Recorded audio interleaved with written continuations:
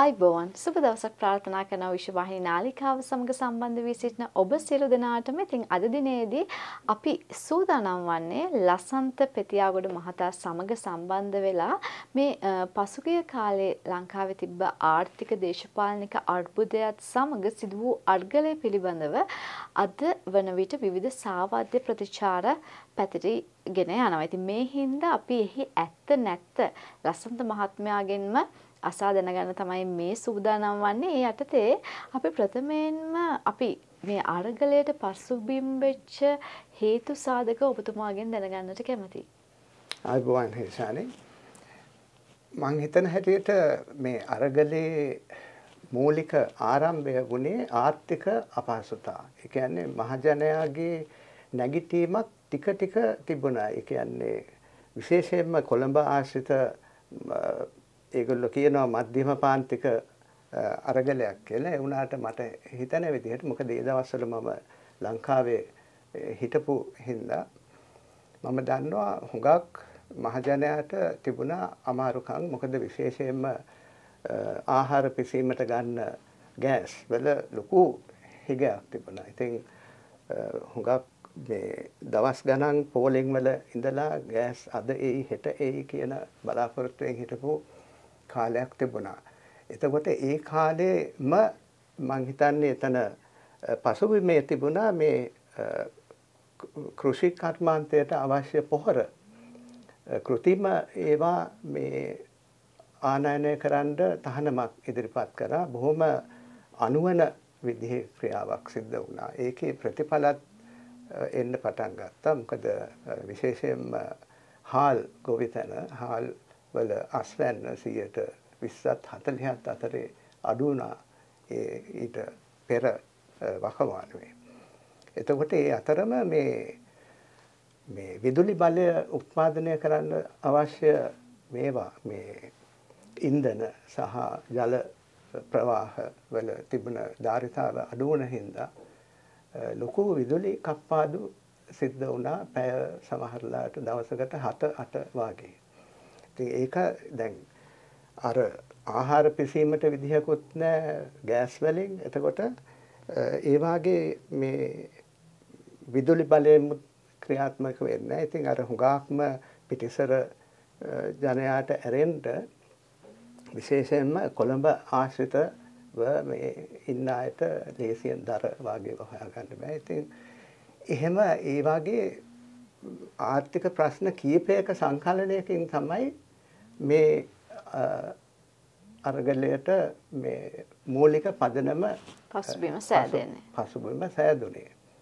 ඔව් ලසන්ත මට අපි මීළඟට අවධානය යොමු කරන්නේ මේක ඉතිහාසයේ කවදාවත් නොසිතූ විරූ ලෙස දේශපාලනික විප්ලවයක් ලෙස අපිට හඳුන්වන්නට පුළුවන්.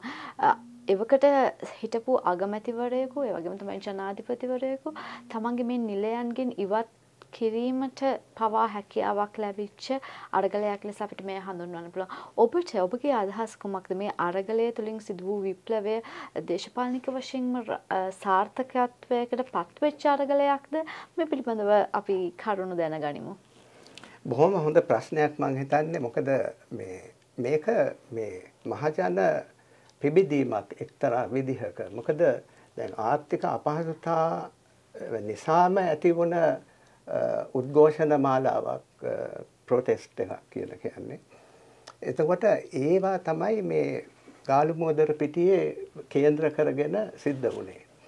ඉතින් විප්ලවයක් වගේ දෙයක් මහජන විප්ලවය කියන වචනේ මේ හේෂානේ මතක් කරපු හින්දා කියන්නේ මහජන විප්ලවයක් ඇත්තටම ඇතිවෙන්න ඊට වඩා කරුණු සිද්ධ විය යුතුයි. මහජනයා ලංකාවේ ඒ වගේ විප්ලවයකට තවම ලෑස්ති නැති බව හුඟක් සාධක වලින් පේනවා. මොකද එක සාමාන්‍යයෙන් ඡන්ද කාලය වෙනකොට යම් යම් වරප්‍රසාද දෙනවා. මිනිස්සුන්ට රස්සාවල් දෙනවා. එතකොට බඩු මිල අඩු කරනවා පොඩ්ඩක්. ඒ වගේ දේවල් වලින් හුඟක් දුරට මහජනයා රැවටිලා ඉන්නේ. ඒ කියන්නේ අර එච්චර බුද්ධිමත්ව තමන්ගේ ඡන්දය පාවිච්චි කරන්න බැරි ජනතාවක්ගෙන් තමයි දේශපාලන තන්ත්‍රයේ හුඟක් බලයට පත් වෙන්නේ. ලංකාවේ අනිවාර්යයෙන්ම. අනිවාර්යයෙන්ම ඒක දිගටම තිබුණ දෙයක්. ඉතින් ඒ විප්ලවයකට අවශ්‍ය කරන දිගුකාලීන අපහසුතා මිනිස්සුන් හඳුනාගෙන නැහැ. ඒගොල්ලෝ හුඟක් වෙලාවට හිතන්නේ ඒගොල්ලොන්ගේ තියෙන දරිද්‍රතාවය එහෙම කර්මය විසින් සිද්ධ වුණ දේවල් හරි නොඇලැක්විය හැකි දේවල් හැටියට මිසක් මේ දේශපාලන රාමුව තුළ තියෙන බුද්ධිමත් භාවයකින් තීරණ ගැනීමේ හැකියාව හරි අඩුයි ලංකාව ජනයා තුළ. අන්න හරි. ඒ කියන්නේ මේ අර ඉන්ජස්ටිස් කියන්නේ යුක්තිය සාධාරණය නැතිකම හින්දායි කියන එක හුඟක් වෙලාවට පසු මේ මග ඇරෙනවා ඒගොල්ලොන්ගේ හිතීමට. ඔව්. දැන් අපි ඊළඟට කතා කරමු දැන් විශේෂයෙන්ම අපි ජනාධිපතිතුමා ඉවත් වෙන යකට හිටපු ජනාධිපතිතුමා ඊට පස්සේ රනිල් වික්‍රමසිංහ මහත්මයා ජනාධිපති බවට පත් වුණා. ඊට පස්සේ මේ අරගලය කියන එක නැතිව ගියා. ඉතින් ඒ අරගලයට පසු කාලීනව පශ්චාත් කාලය තුළ නමුත් ඔබ හිතනවාද අරගලය විකෘති කිරීමේ ප්‍රයත්න අරගලය පැවති කාලය තුළම පැවතුනාද දේශපාලනික වශයෙන් කොහොමද විකෘති කිරීමේ අරමුණු ක්‍රියාත්මක වුණේ? ඒකත් බොහොම හොඳ ප්‍රශ්නයක් මොකද හේෂානේ දැන් අපි බැලුවොත් අරගලය කරන කාලේ ඒකට හුඟක් උනන්දුවක් තිබ්බ මිනිස්සුන්ගේ මොකද මහජනයා තෙරපීම් දරා ගන්නම බැරි දේවල් හින්දා සිද්ධ වුණා. ඉතින් ඒකට දැන් මොනවා හරි පිටින් ආපු බලවේගයක් තිබුණා. ඒ කියන්නේ දේශපාලන අරමුණු මේ සාක්ෂාත් කරගන්න අවශ්‍ය කණ්ඩායමුත් ඔය අරගලයට එකතු වුණා. දැන් ඉස්සරලා හිටපු ජනාධිපති ගෝටාබේ රාජපක්ෂ දුරෙන් පැනගියානේ.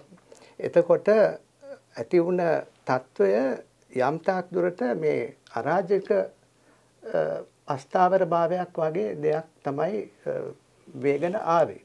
එතකොට දැන් පාර්ලිමේන්තුවේ උත්තරීතර කියලා දැන් ඒගොල්ලෝනේ රටේ තියෙන ප්‍රතිපත්ති අරෝපය සම්පාදනය කරන්නේ. ඒගොල්ලොන්ගේ තනිකරම ඒගොල්ලොන්ගේ සර්වයිවල් එකට ඒගොල්ලොන්ගේ පැවැත්ම සඳහා රනිල් වික්‍රමසිංහ කියන ඊළඟට ආපු ජනාධිපති ඒ කියන්නේ ඉස්සෙල්ලා හිටියේ මේ විරුද්ධ පක්ෂයනේ අත්ත වශයෙන්ම. ඒගොල්ලෝ ඒ අරගලය ඉබේම තුනේ වුණේ ඒ වුණාට ඒක මර්ධනය වුණා. මර්ධනය වුණේ බොහොම සාහසික විදිහට ඔය ගාලු මුදර තිබුණ ඒ අටවලා තිබුණ ඒ පුස්තකාල වේදිකාවල් අරෝ මේවා තනිකර විනාශ කරලා. ඉතින් ඒක ඔයිට ඉස්සෙල්ලත් කරන්න හැදුවා ඔය මහින්ද රාජපක්ෂ ඇතුළු ඒ කණ්ඩායම ඒක ප්‍රසිද්ධ කාරණයක් මං නම් කිව්වට ඒක රහසක් නෙවෙයි. ඒ වුණාට ඒක අසාර්ථක වුණා ඊට පස්සේ තමයි ගෙවල් ගෙනි අරන් ඒ විදිහේ ප්‍රශ්න වුණේ. ඉතින් අපි දන්නේ නැහැ ඒවට කවුද මේ වගකිව යුතු පාර්ශව කියලා ඒවා හොයාගෙන නැහැ. ඉතින් නීතිය ක්‍රියාත්මක වෙන එක ගැනත් ප්‍රශ්න තියෙනවා ලංකාවේ. හුඟක් බරපතල ප්‍රශ්න තියෙනවා. අපි අරගලයෙන් බලාපොරොත්තුනේ ලසන්ත මහත්මයා සිස්ටම් චේන්ජ් එකක්නේ. අපේ මේ තිබ්බ පද්ධතිය මේ දේශපාලන පද්ධතිය වෙනස් වීමක්. නමුත් අපි හිටපු පද්ධතියෙම මිත්‍රයෙක් තමයි නැවතත් මේ පද්ධතිය බලපවත්වාගෙන යන්න ඉදිරියට ගෙන යන්න පත් වුනේ. ඉතින් මේ අරගලයෙන් බලාපොරොත්තු වෙච්ච මේ සිස්ටම් චේන්ජ් එක ප්‍රශ්නාර්ථයක් බව තමයි පෙනී යන්නේ. ඔබගේ අදහස් කුමක්ද ඒ පිළිබඳව? ඔව් මං හිතන්නේ සිස්ටම් චේන්ජ් එකක් ඇත්ත වශයෙන්ම සිද්ධ වුණේ නැහැ. ඒ වුණාට ඒකට අවශ්‍ය කරන මූලික පදනම මං හිතන හැටියට දැන් ස්ථාපිත වෙලා තියෙන්නේ. මොකද දැන් මිනිස්සු මහජනයා සාමාන්‍ය මහජනයා දන්නවා ඡන්දයක් තිබ්බත් නැතත් මහජන අවශ්‍යතාවය මොකද මහජනයා තමයි රටේ උත්තරීතර. අනිත් හැමදේම මහජනයාගේ ආධිපත්‍යයට යටත් මේ ව්‍යවස්ථාව අරව මේවා කියලා ඔය එක එක දේවල් වල මුවාවෙන් එක එක දේවල් කරාට මහජනයාට දැනුණා. පළවෙනි වතාවට මං හිතන්නේ 1948න් පස්සේ පළවෙනි වතාවට දැනුණා මේ දේශපාලන ක්‍රියාකාරකයෝ කියන්නේ දේශපාලන පක්ෂ දෙක. මේ කියන්නේ ඒ කැම්ප්ස් දෙක ඒ පොලිටිකල් කැම්ප්ස් දෙක. මාරුවෙන් මාරුවට කරගත්ත මේ හුවමාරුව ජනතාවගේ ආධිපත්‍යයෙන් වෙනස් කළ හැකි හැකි බව ඒගොල්ලෝ තේරුම් ගත්තා බොහොම මේ පැහැදිලිව. ඉතින් ඒකයි අර දැන් ඔබ කිව්වා වගේ අර ඊට පස්සේ බලයටපත් වුණ කෙනා අර විදිහෙම ඒ සිස්ටම් එකේ හිටපු කෙනෙක් ඒගොල්ලෝ කැමති නැහැ ඒ සිස්ටම් එක වෙනස් කරන්න. මොකද ඒගොල්ලොන්ටයි ඒගොල්ලෝ වටේට ඉන්න කණ්ඩායමට ඒ කියන්නේ බිස්නස් කරන එතකොට ඒගොල්ලොන්ගේ මේ ඡන්ද වැඩවලට සල්ලි වියදම් කරන ඒ වගේ ව්‍යාපාරික ප්‍රජාව ඒ හුඟක් අය මේ සිස්ටම් චේන්ජ් වලට කැමති නැහැ. ඒ වුණාට මහජනයාට තමයි සිස්ටම් චේන්ජ් එකකින් වැඩිම ප්‍රතිලාභ ලබා ගන්න පුළුවන් යථා කාලයේදී. ඉතින් එහෙම තත්ත්වයක් තමයි දැන් තියෙන්නේ. මේ අර පළවෙනියට දැන් ඔච්චර කල් එහෙම තිබ්බේ නෑනේ. සන්නද්ධ අරගල තිබ්බා ඒවා මැඩ පැවැත්වුණා. ඇත්ත වශයෙන්ම මං හිතන හැටියට දැන් වුණත් බලාපොරොත්තු වෙනවා මේ රජය කරන ඒ කියන්නේ කිසිම මහජන වරමක් නැති කොට්ටාසයකින් තමයි මේ රජය සහ පාලන තන්ත්‍රය තියෙන්නේ. ඒගොල්ල බලාපොරොත්තු වෙනවා යම් විදිහකින් ප්‍රචණ්ඩකාරීත්වයෙන් මේක ආවොත් ඒක මර්ධනය කරන්න ලෑස්ති වෙලා තමයි ඉන්නේ. ඒකයි ඉතින් ඔය යුද්ධ හමුදාව පොලිසිය වාගේ අය මේ ප්‍රයිම් කරගෙන මේ තියාගෙන ඉන්නේ. හොඳයි. අපි දැන් විශේෂම මේ අරගලය කාලයේදී දැන් හිටපු ජනාධිපතිවරයා නිරපන්නට කටයුතු කළා අපි ඡන්දයකින් හරි ජනාධිපතිතුමා ඡන්දයක් පවත්වලා හරි නිරපල දාලා රටට අවශ්‍ය වන ඒ කියන්නේ ලංකාවේ මිනිසුන්ගේ මානසිකත්වයේ තියෙන තමන්ගේ මේ එදිනෙදා කෑම බීම ඉන්ධන ටික ක්‍රමවේදයකින් යම් ක්‍රමවත්ව ලබා ගැනීම. මේක තමයි මූලික අරමුණ මම හිතන්නේ බුද්ධිමත් පාලකයෙක් පත් කරගන්නවට වඩා. ඉතින් ඡන්දයකින් හැකියාව තියනවාද මේ රටේ දැවෙන ප්‍රශ්න වලට විසඳුම් හොයන්නට? මම හිතන හැටියට ඡන්දය කියන එක හුඟක් දුරට අසාර්ථක වෙලා තියෙන්නේ ලංකාවේ. මොකද අපි ඡන්ද තිබ්බනේ අවුරුදු 4න් 5න් හැම අවුරුදු 5කට සැරයක් එක එක විදිහේ ඡන්ද තිබ්බා.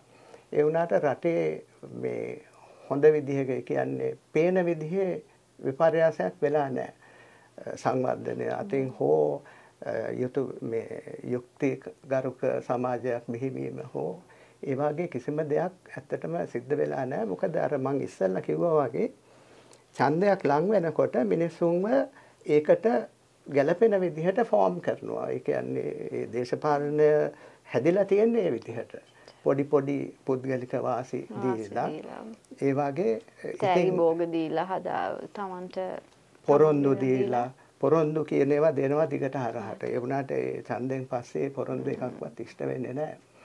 ඉතින් ඒ වගේ අර පුද්ගලික වාසිය කියන එක තමයි මිනිස්සුන්ටත් පුරුදු කරලා තියෙන්නේ. ඉතින් මං හිතන්නේ මිනිස්සුන්ට දැන් තේරුම් යන්න ඕන ටික ටික ඒ කියන්නේ විකල්පවාදී පාලන තන්ත්‍රයක් එන්න නම් ඒගොල්ලෝ ඉස්සල්ලාම ඒ මානසිකත්වයෙන් අයින් වෙන්න ඕනේ. ඒ කියන්නේ Tamanට මොනවද ලැබෙන්න පුළුවන් කියන එකට වඩා අපි පොදු යහපත වෙනුවෙන් මේ කවුද කරන්නේ කවුද කරයි කියලා හිතන්න පොදු සහ අනාගතයේ විශේෂයෙන්ම. විශේෂයෙන්ම.